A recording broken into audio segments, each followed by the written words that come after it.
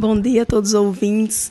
É, a Associação do Frutilândia já vem desenvolvendo ao longo dos anos os Jogos da Integração, já é um marco dentro da organização esse evento, onde a gente tem a participação de vários atletas do taekwondo, do futebol, crianças da capoeira, e também a gente também oferta dentro do projeto Atleta Cidadão aulas de acompanhamento escolar, e oficinas de dama. Então vai ser um evento super esperado pelos atletas, uma oportunidade de meninas e meninas vivenciarem juntas o esporte, né? Utilizando das tecnologias sociais, o futebol três tempos. Então vai ser o, os jogos, essa integração social de todos os atletas.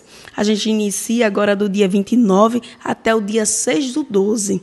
Então, vai ser uma semana de muito movimento dentro da nossa organização, com a participação das famílias. Os jogos é abertos ao público, né? com a integração das crianças que já fazem parte aqui do núcleo da nossa sede, da Associação do Frutilândia, e também as crianças lá do poeta Renato Caldas, que vão estar vindo participar conosco, onde a gente já oferta as atividades esportivas lá.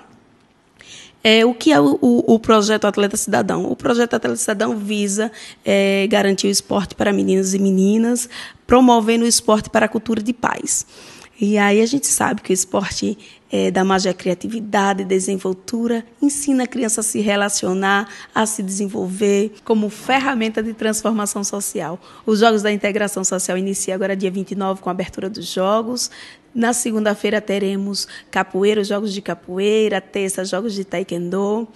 E quarta e quinta teremos fraldinha, mirim e juvenil, juvenil misto de futebol. E na sexta-feira, a tão sonhada entrega de premiação. Então, desde já eu convido a todos vocês a virem prestigiar nosso evento.